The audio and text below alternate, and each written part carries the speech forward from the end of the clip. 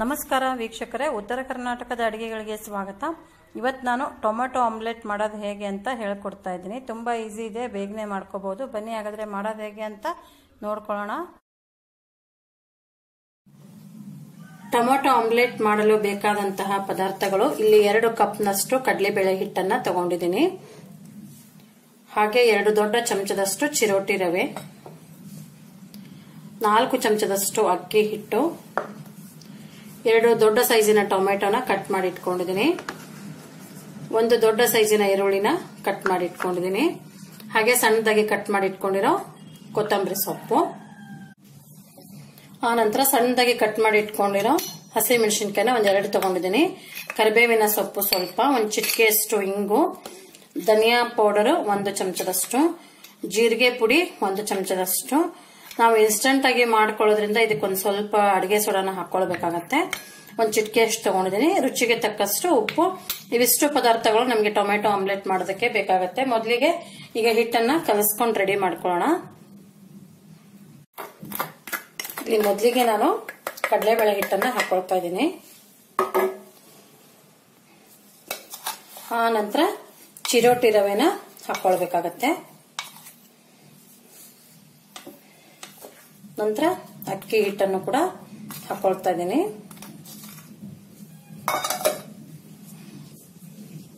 Tomato. Tomato ರುಬ್ಬಿ ಕೂಡ ಹಾಕೊಳ್ಬಹುದು ನಾನಿಲ್ಲಿ ಸಣ್ಣದಾಗಿ ಕಟ್ ಮಾಡಿ ಇಟ್ಕೊಂಡಿರೋದು ಹಾಕೊಳ್ತಾ ಇದ್ದೀನಿ. ಕೊತ್ತಂಬರಿ ಸೊಪ್ಪು, ಉಪ್ಪು, ಜೀರಿಗೆ ಪುಡಿ, ಧನಿಯಾ ಪುಡಿ ಒಂದು ಚಿಟಿಕೆಯಷ್ಟು ಅಡಿಗೆ ಸೋಡಾ,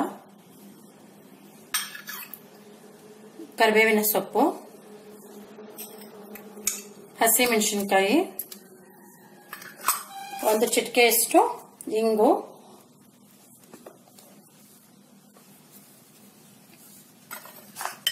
ಆನಂತರ ಈರುಳ್ಳಿ. ಒಂದು ಚಿಟಿಕೆಯಷ್ಟು ಅರಿಶಿನ ಪುಡಿ ಹಾಕೊಳ್ಬೇಕು ಅಲ್ಲಿ ವಿಡಿಯೋದಲ್ಲಿ ಸ್ಕಿಪ್ ಆಗಿಬಿಟ್ಟಿದೆ, ಸಾರಿ. ಈಗ ಎಲ್ಲಾ ಪದಾರ್ಥಗಳನ್ನ ಹಾಕಿದ ನಂತರ ಇದಕ್ಕೆ ಹಿಡಿಯುವಷ್ಟು ನೀರು ಹಾಕೊಳ್ತಾ ಚೆನ್ನಾಗಿ ದೋಸೆ ಹಿಟ್ಟಿನ ಹದಕ್ಕೆ ಕಲಸ್ಕೊಳ್ಬೇಕು. ಗಂಟಿಲ್ದಂಗೆ ಮಿಕ್ಸ್ ಮಾಡ್ಕೊಳ್ಬೇಕಾಗತ್ತೆ.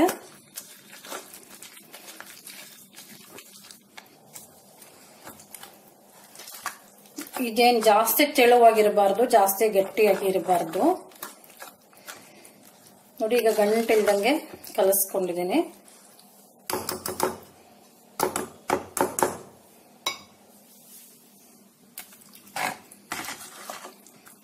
ನೋಡಿ, ಈ ಹದಕ್ಕಿದ್ರೆ ಸಾಕಾಗತ್ತೆ. ಈಗ ಇದನ್ನೇ ನೆನ್ಸ, ನೆನ್ಸಿಡೋ ಅವಶ್ಯಕತೆ ಏನಿಲ್ಲ. ನಾವು ಈಜಿಯಾಗಿ ಈಗಲೇ ನಾವು ದೋಸೆನ ಮಾಡ್ಕೊಳ್ಬೋದು.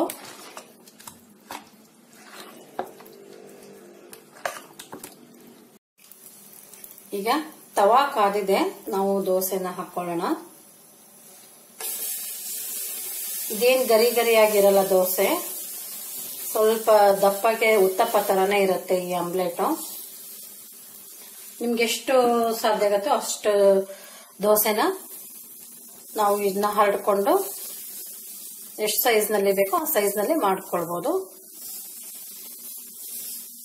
ಇದ್ರಲ್ಲೇ ಎಲ್ಲ ಖಾರ ಅದೆಲ್ಲ ಹಾಕಿರೋದ್ರಿಂದ ಇದಕ್ಕೆ ನಾವು ಎಕ್ಸ್ಟ್ರಾ ಯಾವುದೇ ಒಂದು ಚಟ್ನಿ ಅದು ಏನು ಬೇಡ ಸೈಡ್ ಡಿಶ್ ಆಗಿ ಹಂಗೆ ತಿನ್ಬೋದು. ತುಂಬಾ ಚೆನ್ನಾಗಿರುತ್ತೆ.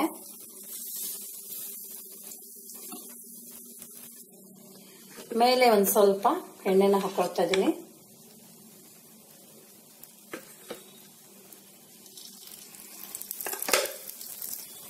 ಈಗ ಒಂದು ಪ್ಲೇಟ್ನ ಮುಚ್ಚಿ ಎರಡು ಕಡೆ ಚೆನ್ನಾಗಿ ಬೇಯಿಸ್ಕೊಳ್ಳೋಣ.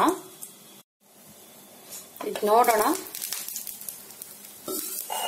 ನೋಡಿ, ಒಂದ್ ಸೈಡ್ ಚೆನ್ನಾಗಿ ಬಂದಿದೆ. ಇವಾಗ ಇದನ್ನ ತೆರಿಗೆ ಹಾಕೊಂಡ್ಬಿಡೋಣ. ಎರಡು ಸೈಡು ಚೆನ್ನಾಗಿ ರೋಸ್ಟ್ ಮಾಡ್ಕೊಳ್ಬೇಕು ಈ ದೋಸೆನ. ನೋಡಿ ಕಲರ್ ಎಷ್ಟು ಸಕ್ಕತ್ತಾಗಿ ಬಂದಿದೆ ಅಂತ.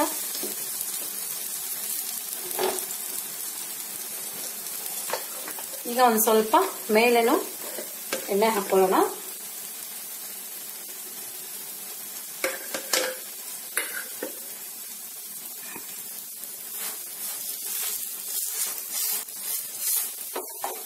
ಇದನ್ನ ತಿರುವಿ ಹಾಕ್ತಾ ಇದ್ದೀನಿ.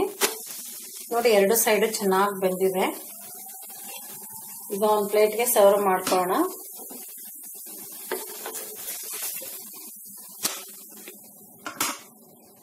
ನೋಡಿದ್ರಲ್ಲ ವೀಕ್ಷಕರೇ, ಟೊಮೆಟೊ ಆಮ್ಲೆಟ್ ಮಾಡೋದು ಹೇಗೆ ಅಂತ ತುಂಬಾ ಈಸಿ ಇದೆ. ನೀವು ಬೆಳಗಿನ ಒಂದು ಬ್ರೇಕ್ಫಾಸ್ಟ್ಗೆ ಅಥವಾ ಈವ್ನಿಂಗ್ ಟೀ ಜೊತೆನೂ ಕೂಡ ಮಾಡ್ಕೋಬಹುದು ತುಂಬಾ ಚೆನ್ನಾಗಿರುತ್ತೆ. ಇದೇ ತರ ಎಲ್ಲ ಆಮ್ಲೆಟ್ಗಳನ್ನು ಮಾಡ್ಕೊಳ್ಬೇಕಾಗತ್ತೆ. ನೋಡಿದ್ರಲ್ಲ ವೀಕ್ಷಕರೇ, ಟೊಮೆಟೊ ಆಮ್ಲೆಟ್ ಈಸಿಯಾಗಿ ಎಷ್ಟು ಸುಲಭವಾಗಿ ಮಾಡ್ಕೋಬಹುದು ಅಂತ ನೀವು ಮನೆಯಲ್ಲಿ ಟ್ರೈ ಮಾಡಿ.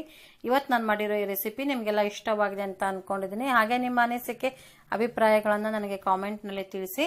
ವಿಡಿಯೋ ನೋಡಿದ ಎಲ್ಲರಿಗೂ ನಮಸ್ಕಾರ, ಧನ್ಯವಾದಗಳು.